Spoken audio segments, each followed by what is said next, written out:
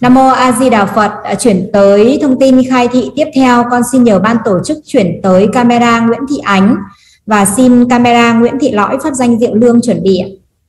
Nam mô A Di Đà Phật. Con kính xin thầy Diệu Âm khai thị cho mẹ của con là Nguyễn Thị Vân, pháp danh Diệu Trơn, 83 tuổi. Bà có 5 người con nhưng lại không thích ở với người con nào cả, chỉ muốn ở một mình. Mẹ con đã ăn chay được 5 năm rồi, có phát tâm niệm Phật nhưng thời gian niệm Phật rất ít, chủ yếu là xem tivi.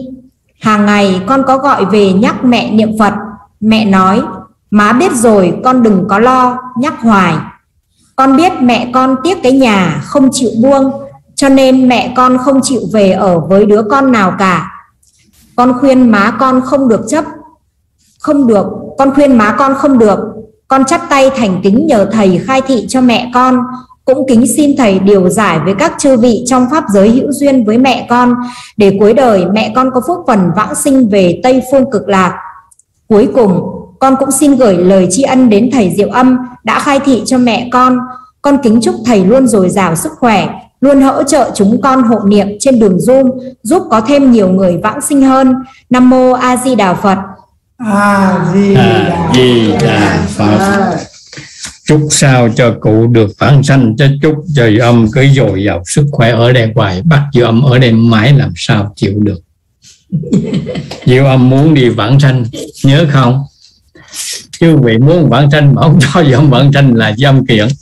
Không được.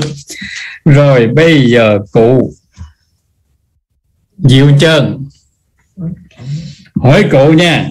Cụ muốn vãng sanh Tây Phương cực lạc không? Muốn muốn không? Muốn, muốn giơ tay lên cao lên. Nhớ nha. Muốn vãng sanh về tây phương cực lạc mà tham chi cái nhà lụp sụp tại đây. Cầu ơi cái nhà này nó nhỏ xíu xíu rồi nếu cụ về Bồ Tát rồi cụ sẽ thấy, trời ơi, tại sao chúng sanh ở cái cõi này nó vừa nhỏ, vừa khổ, vừa covid, bệnh hoạn đủ thứ mà cứ bám tại đây làm chi? Trong khi cụ về Tây Phương cực lạc, cái nhà của cụ cụ muốn lớn bấy nhiêu thì lớn, muốn sáng bấy nhiêu thì sáng. Muốn là pha lê xa cười, xích châu mã não, ống mắt đều có hết. Mà trong suốt nữa muốn bay lên không, nó bay lên không? Đi tới đâu nó che chở mình tới đó. Hiện tại bây giờ như có cái ờ, vị phó tổng thống Mỹ đi tới Việt Nam phải không? Đi tới cái chuyên cơ, cái chuyên cơ đó mà gặp những cái người ở trên cõi Tây Phương, người ta lấy cái móng tay ta khấy một cái là bể liền.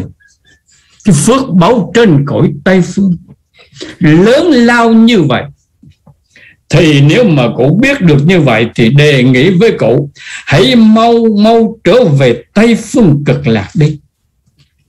Cụ đem cái phước báo đó mà trang trải từng đứa con, trang trải từng người thân, gì đó, người thân yêu trong gia đình, trong quyến thuộc.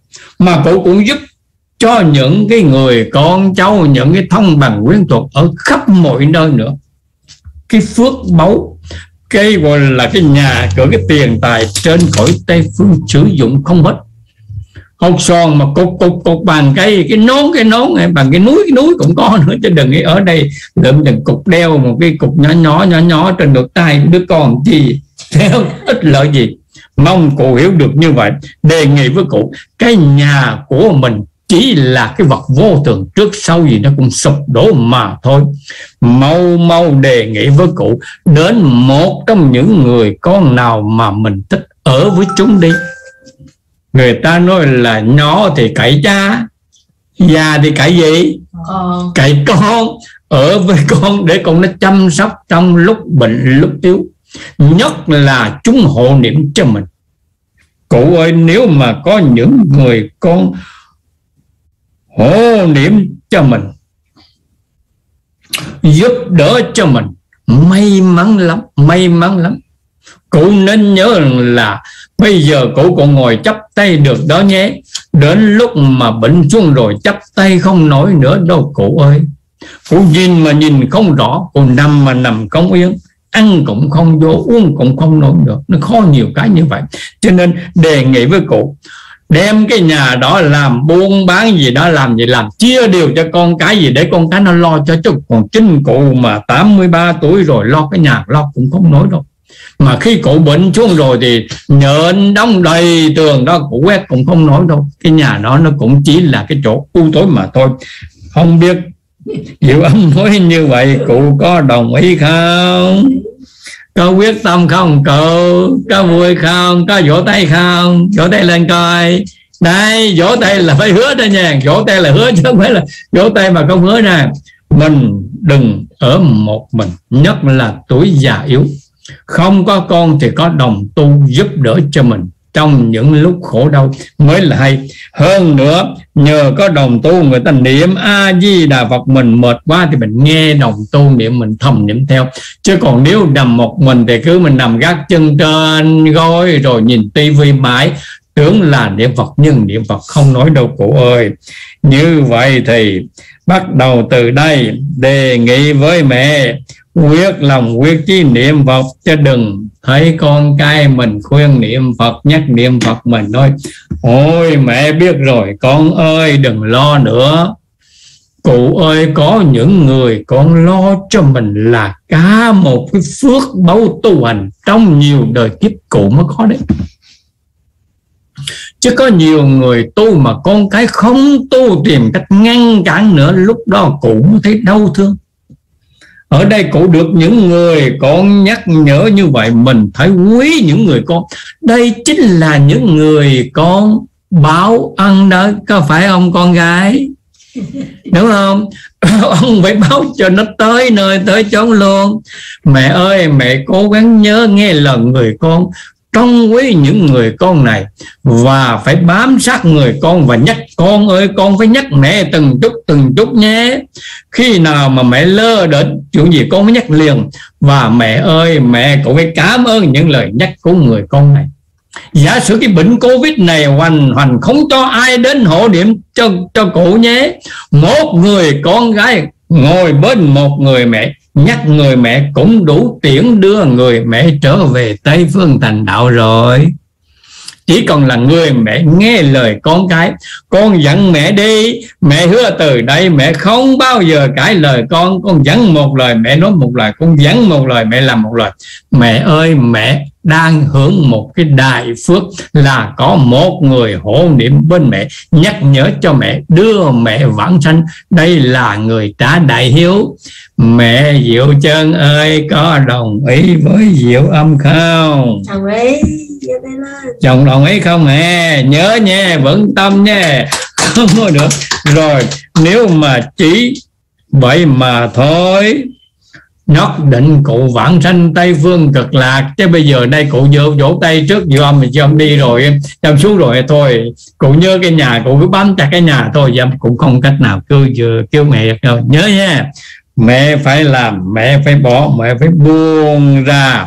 Mẹ phải đi về với con cái để có người hỗ niệm cho mình. Nhất định người già không nên ở thui thủi một mình. Đêm khuya lỡ có gì làm sao được. Nhớ không? Như vậy mẹ chịu chưa? Một lần nữa giơ tay lên. Để hứa với gì ông đây rồi nhớ nha. Giơ đủ 10 tay rồi tức là một trăm phần trăm mà hứa rồi đó nha. Vững vàng cầu xin chư vị trong pháp giới thương tình ủng hộ cho mẹ Nguyễn Thị Vân. Pháp danh diệu trơn. Quyết lòng niệm Phật hỗ trợ cho mẹ vãng sanh Tây Phương cực lạc. Nguyện cho mẹ diệu chân nghe những lời này. Quyết chí hứa từ nay về sau, nhất định buông những cái gì của tê sang xuống.